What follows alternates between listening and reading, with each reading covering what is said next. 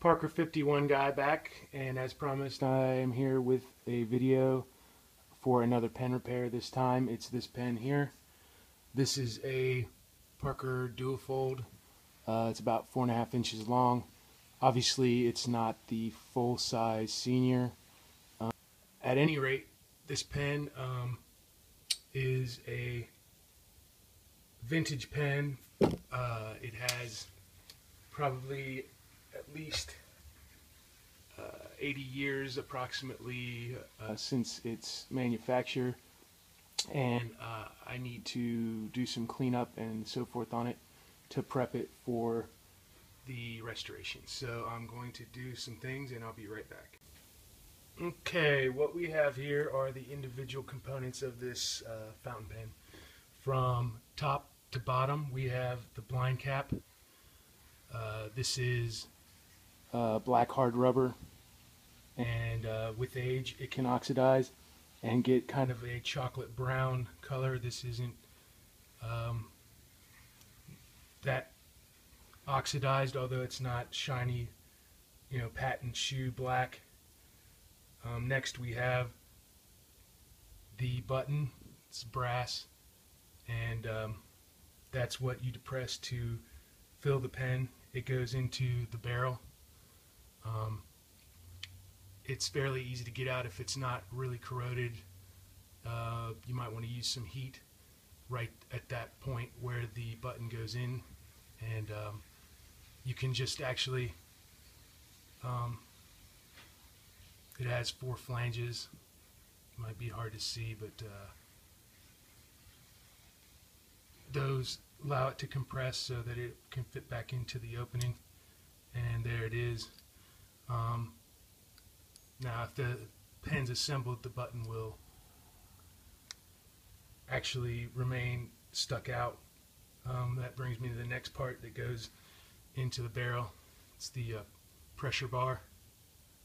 Um, the bent angled end is going to be sticking out the back hole uh, covered by the button and when you press it down it flexes and this uh, rigid bar actually acts like a kind of like a if you were to step on something it's like the sole of the shoe pressing in on the sac.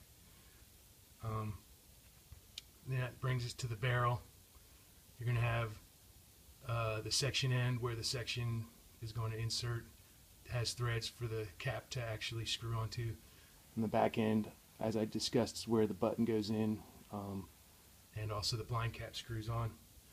And then you have the section with the nib uh, unit and the feed inserted.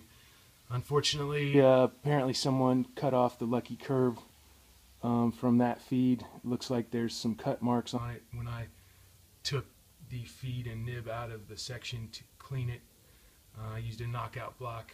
Um, if anyone has any questions on that, um, please let me know. Um, next, the cap. Uh, this is a two-band cap, and the top end you can unscrew the rubber retainer cap for uh, the clip. And what you do is you uh, place a clip over the top of the cap, and then put that in, and then it just threads in and on anything that's threaded or friction fit as I, uh, I would always recommend using some heat and patience and gentle care when trying to remove this. I used my hair dryer to heat up the top of the cap where it had the threads going in so that I could uh, hopefully uh, loosen them up somewhat. Um, so now that we got that uh, all explained, uh, obviously the point of business today is going to be to put a sac onto the, the sac nipple on this section and uh, cement it in place with some shellac and get uh, this pen into writing order to see how it works. So um, I'm going to set my pen parts aside and get out the sacs that I have and uh, explain that.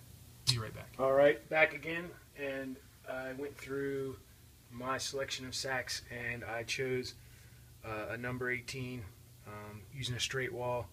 A lot of sources on the internet will tell you to use a necked sac, which means that the neck is is narrowed down, but then it widens out to a bigger diameter at the back, so that uh, essentially you can get it to fit onto the sac nipple and um, still have a large diameter uh, sac to get a lot more volume of ink in there.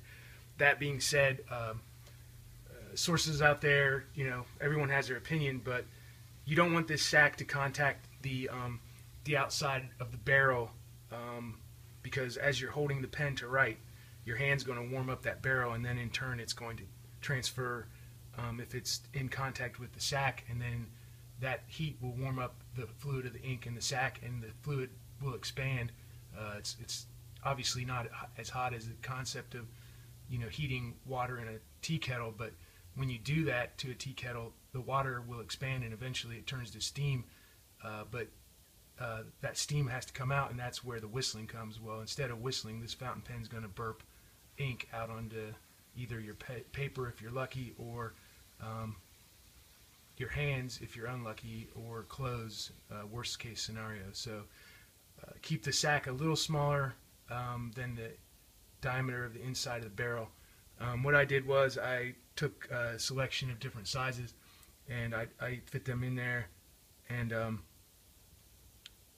till I found one that was not snug but it wasn't uh, you know just bouncing around inside the inside of the barrel um, then using uh, techniques that I showed in my Wearever lever fill restoration um, I cut the sac to the correct length uh, you know counting the distance that it will go inside the barrel um, marking that off at the end, and then discounting the length of the section that isn't going to be where the sac is placed. Um, not to get into too much detail, but you can go back to that Wearever uh, lever filler restoration and it'll show you the actual um, process I did. Now that I have that um, cut to length, uh, I get some shellac, which um, got some right here. Shake it up a little to mix it up and I've also got, if I need it, which uh, my uh, sac spreader to uh, fit it on there. So what I'm going to do is and take a little bit of shellac on the brush and carefully apply that to the uh, sac nipple. And once again, uh, keep in mind, I've cleaned the pen up from the way I found it the old sac had been quite uh, dried out and essentially uh, just about petrified and was almost like a solid. So that done, uh, and take the uh, sac spreader, put that in there, widen it, and uh, place the uh, nipple in there.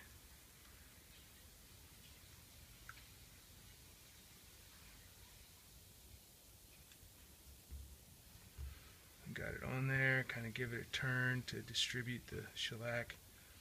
And um, looks like it's uh, holding on there.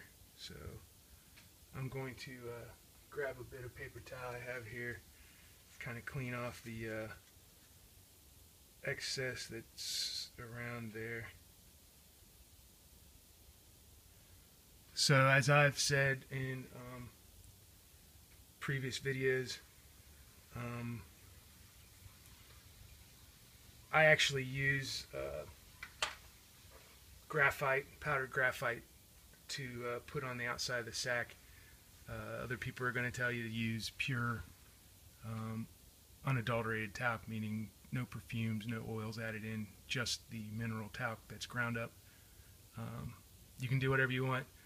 Uh, so I'm going to set this sac down. Um, little tip I saw out on the internet, if you uh, want to ensure that it stays on, if it's uh, difficult and it's not wanting to stop slipping, uh, a strip of just regular clear a half inch or three quarter inch scotch tape and wrap it around. Um, set it aside. Minimum wait time, half hour. If you can wait and you're not like a kid at Christmas, uh, you can leave it overnight and let it dry. Um, I'm going to let it wait, you know, at least a half hour before I put it back into the pen and uh, try to fill it. So I'm going to leave you for a moment here and we'll be right back with the next step. I want to talk a little bit about the pressure bar and the way that this is set up in the later Duofolds, um, late 30s. Um, they have a pressure bar which is called a hanging pressure bar. Um, what this essentially means is now this one actually in the inside there's a a metal collar in there. Um, and it's to stop for the section uh, I don't know if it's actually visible but um, there's like a metallic collar in there. And that is where the tab of the uh, lower end of the pressure bar will come to snag on. And what you're going to have to do is uh, when you put the pressure bar back in I'm going to do it through the back. And you want to try to keep it pressing up against the upper part of the barrel until it catches on that um, of course, you could also, I guess, e more easily leave it down and um, keep going until you feel that catch on that collar. Now, when I put that section in, um, it's going to actually give it a natural um, guide to the point where it will find a catch on that and get purchase so that the bar doesn't go any farther and it actually causes it to flex and then compress the sac. So I just wanted to give you the, the basic idea of what you, I'm going to be trying to do uh, and what you want to do when you put that pressure bar back in. Um, okay, we're back and after the sac has had a chance to dry, um, what we're going to do is we're going to reinsert it back into uh, the barrel and um, I don't know. I just I prefer to kind of have the uh, the the actual imprint uh, at me when I'm holding the pen to write with. So uh, I'm going to kind of bring that there and insert in there and there now it's tight enough in there that it will stay so next, take the pressure bar and um, gonna try to fit that in. And actually I think what I'm going to do is I'm going to actually take the sac out get that down in there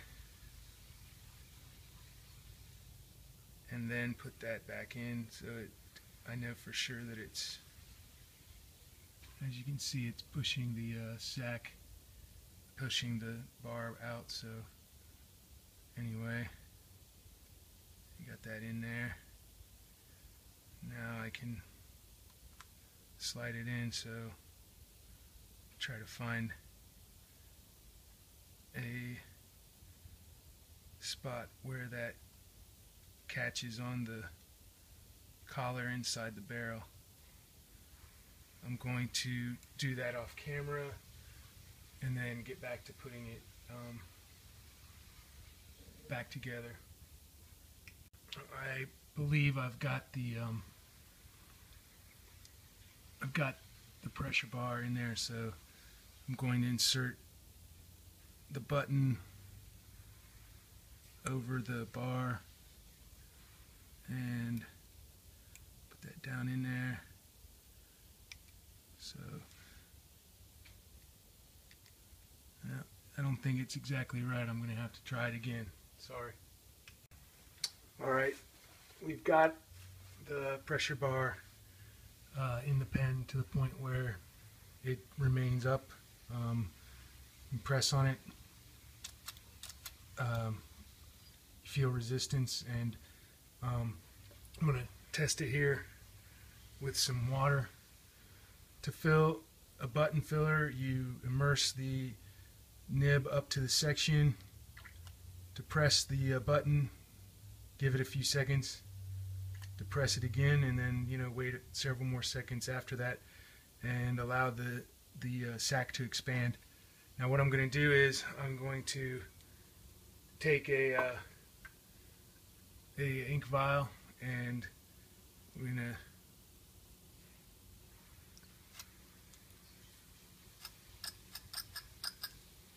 put that out. Um, it looks like about uh,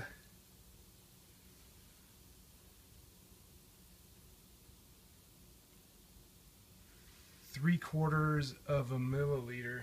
Um, I don't know for the size that this pen is if that's normal or not. I'm not um, familiar with it to really say. Um, I'd have to look online, but um, almost one milliliter. That being said, at this point, the pen um, is is effectively uh, ready to write, and I'm going to do the last thing is going to be an ink fill, and a writing test. Okay, back at the writing desk, and um, we're going to see how this thing performs. Um, I actually found out that um, kind of a pleasant surprise. Uh, this pen is a flexible nib. What that means is you get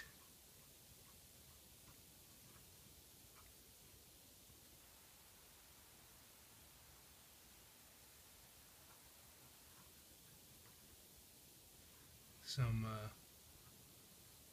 line variation when you apply pressure on the nib.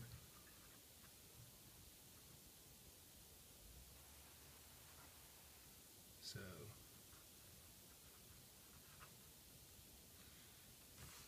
there's what you're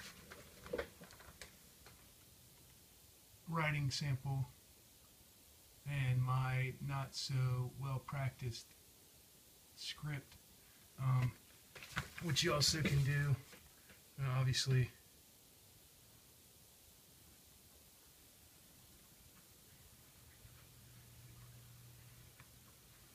this gives a little bit better idea of the uh, the change in line variation and um, I don't know how well this keeps up.